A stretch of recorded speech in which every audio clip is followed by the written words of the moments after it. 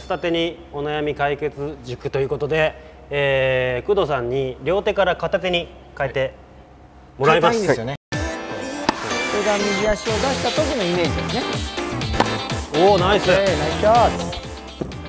スクール引っ張り出す。チャンネル登録よろしくね。今日はチームスタテニメンバーからモニターの方に来ていただいてます。レッスンを行っていきます。はい、工藤さん。お願いします。よろしくお願いします。さあ工藤さんどこを直したいですか？と両手バックハンドを片手に転向したい。したい？はい。じゃあまだ両手ちょっと試してる最中。今日体育で片手やって。はい、なるほど。なきっかけなんだったんですか？その。あの高尾プロのを見てそれで。ありがとうございます。テニス歴はどれぐらいですか？軟式三年で公式三年。おなるほど。じゃあ軟式特有のちょっと癖があるのかな。うんちょっとまだ見てないですけども。いいグリップしてるんですよ。あ皆さん。太いやつ。はい。根っからのはい、グリップ仲間かもしれない。はい。高尾ファンということでよろしいですか？はい。あの特許取ってますか？いや。いいですねはい。どうですか？これやってみて。あこれすごくいいです。ああのフォアのスライスとかすごいかかりやすくなったり。おお。ありがとうございますす。ね。え自分で。あ自分で作ってます。あじゃああの動画見て。はい。じゃああの動画が役立ったということで、ねバームクーヘンねきわちゃんね。じゃあちょっとじゃあやはい、っていきましょうか。じゃあやっていきましょうか。はい。はい、よろしくお願いします。す。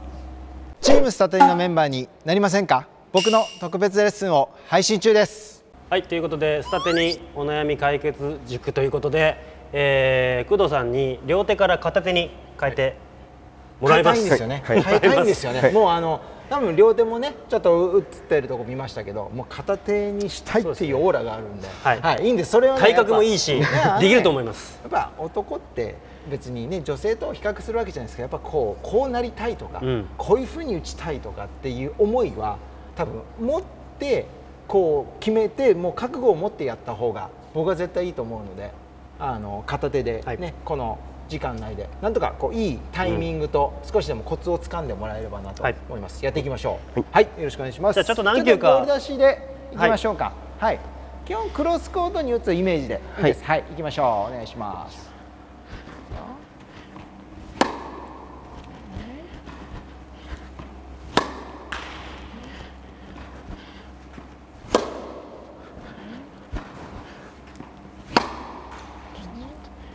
ラスト2球いきます。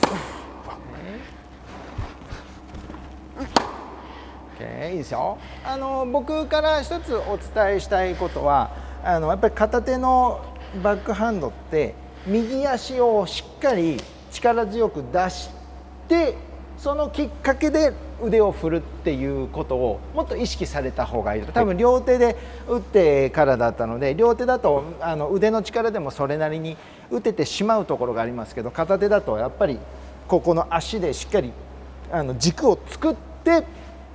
その後は手がもう自然に触れるっていうあの肘伸ばすのは、肘伸ばすのは、うん、どうですかね？伸ばしたいああんまり意識してなかったですか？あんまり意識してない。ああそうなんだ。ちょっと曲げた方がいいかもしれない。うん、若干ね若干ここには緩みを、うん、そうそうそう緩みをとあの持っておいた方がいいので。別にあの、まあ、ティームとかもそうですけど伸ばして。ティームなんかはこうやって伸ばし伸ばすんですけどこの伸ばすことを考えると肘のこのうまく、ま、曲げ伸ばしで力を出すことができないのである意味肩が支点になるんですよ。肩が支点で打つのでそれはそれであのそうやって打つのであればもうこういういわゆる肩を大きく使うっていうことだったらそれはそれで不可能ではないです。これはこの状態。このいわゆる肘の曲げ伸ばしをある意味使わないってで逆に肘の曲げ伸ばしを使うのであればもう少しこう柔らかく見えるというかあのいわゆる合わせる合わせやすいですよね。ここは。もう肘が伸びてるとこの距離感でしかもう合わせられないのでそこにしっかり自分が左足右足を出して何度もこのポジションが変わってもこの距離感だけは常に一緒にしなきゃいけないっていうとこですね。僕から。も最初、もしかしたら手出しで右足体重からまた始めた方がいいかもしれそうですね。それやりましょうか。ない左から右足にこうやって乗ってここから軸を作るって話だったんだけどここからここを打つ時にはもうここブランブランなんですよ。はい。ってことはここ1本でこうやって支えてる状態を作んなきゃいけないのでまずはこの状態を作ってからスイングの練習、はい。うん。でまあ、ちょっと足をセットアップしてもらって、そうもう右足体重だけで。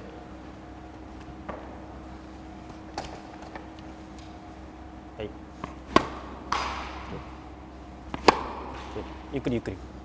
ドンポン。そう。ドンドン。オッケそれが右足を出した時のイメージですね。うん。そうそうそうこれが。じゃあ今度左から左に体重乗ってこうですよね、うん、で左体重はい右足に乗る。そう左から右。OK 左右。そう。そう。体重がやっぱそこだけ大きくなると作る引っ張り出す。そうラケットは引っ張って自分で引っ張ってこないといけないからそう。ちょっと若干腕っぷしが強い感じがあるんで、うん。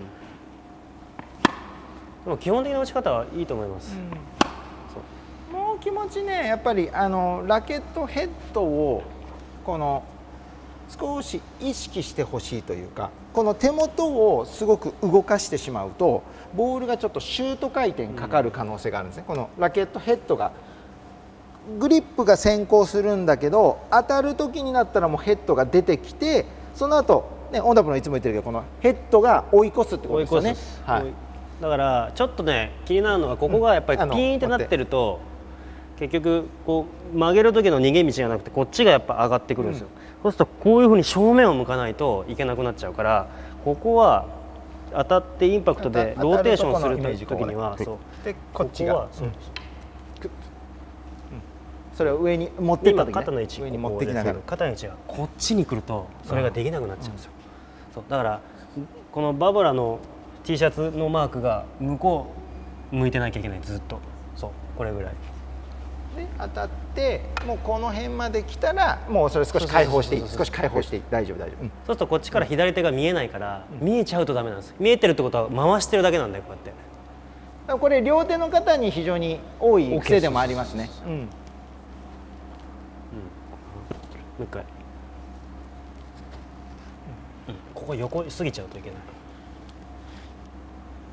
うん。おいいと思います。もう一回、ティームみたいですね。ああいいですいいです。いやティームにティーム僕よりねティームに憧れた方がいいですよ。ね皆さんねティームおいい。絶対いいよ。OK ああ OKOK OK OK OK OK うんはいうんうんラケットヘッドでしっかり左から行きまししょうか左から左踏み込むそうそう勢いを使った方がいいから OK 正面向かないで向こう向いたままそうそうえラケットはこうやってラケット立っていくんですけど顔がこうやって前向いちゃうんですよこれがダメ、はいここはもうボールをフェイスの後ろからこうやって覗き込みぐらいじゃなきゃいけないんですよ。こ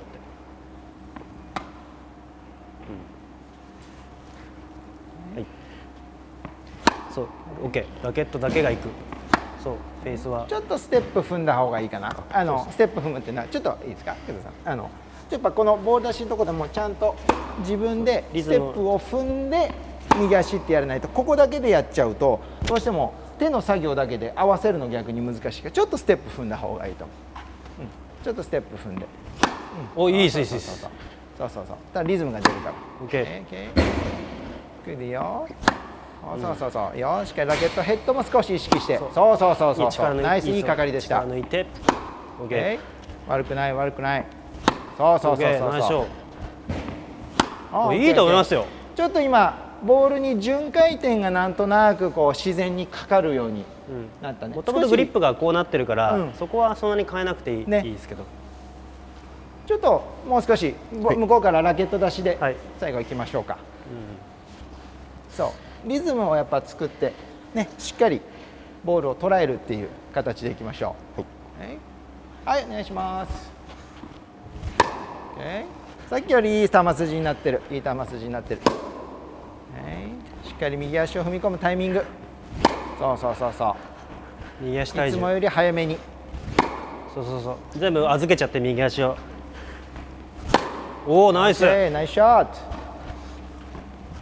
OK おー OK でも力あるから、踏み込みさえちゃんとできればボール飛びますよ、やり続けましょう。やり続けよう、OK えー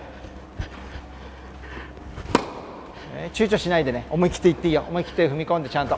そうそうそうそう、ちょっとねあの前に乗って乗るの全然いいんだけど伸びすぎると伸び上がりすぎるとボールの当たるとこがやっぱりブレるんで前に行くけどもある程度フォワードスイングといって前にラケットが行ってから上に伸びるならまだいいです、うん。あ乗るのと一緒に上がらない方がいい、はい。うん。少し我慢した方がいいかな、はい。うん、ちょっともう何球かいいですか？すいませんそうそうそうそうそう。伸び上がりを少し抑えてください。し足よしっかり右足を強く。おそうそうそうしょ抑えろ。よしよしよし OKOK ちょっと若干高いボールが来るとき例えばラリーしててスピンってこういうとこ来るときはここがやっぱりどうしても張っちゃうと逃げ道がないですよ、うん。だからレートヒットにつながっちゃうだからここをもうちょっとこう構える位置で少し曲げててもうん。曲げてから返すぐらいじゃないとここがもともと立ってるとこの距離感っていうのは多分縮まんないですよね。なんでこうもし伸ばして打つんだったら高い位置では打たない方がそうですね。いいです。あのティームなんかも見て多分分かると思うんですけどティームなんかはある意味バックの高いところでは打たずにボールを落としてこの腰の高さとか最低でも胸の高さぐらいでしか打たないです。それ以上高いところではやっぱり逆に打たない方がいいのでうもうここで打たされた時点で ある意味バックの片手は負けになっちゃうから弾む前に取るか弾んでボールが落ちたところをちゃんと腰の高さで打てるように練習もした方がいいと思いますね。はい、い。やでも良かったと思います、うん、まあ今伸びしろがねる、片手に ねかったです。十分です。はい。日本最大のテニスチャンネルを僕たちと一緒に作りませんか？スタテにお悩み解決塾いかがでしたか？もうすごく楽しくテニスができてこの2人に教えてもらえるのはもう自分とっても嬉しいことなんで また動画見て参考にしていきたいと思います、はい、あのグリップはあんまり大きくしすぎないようにこれ以上はね これぐらいにしといてください。仲間としてはね。は いグリップ仲間としては。はい。ありがとうございました。以上です See you next time. Bye. チームスタテニのメンバーになりませんか？僕たちの特別レッスンを配信中です。僕らの経験と知識が詰まったワンランク上のレッスンをお届けしています。まずは無料トライアルでぜひ体験してみてください。一緒にテニスをしましょう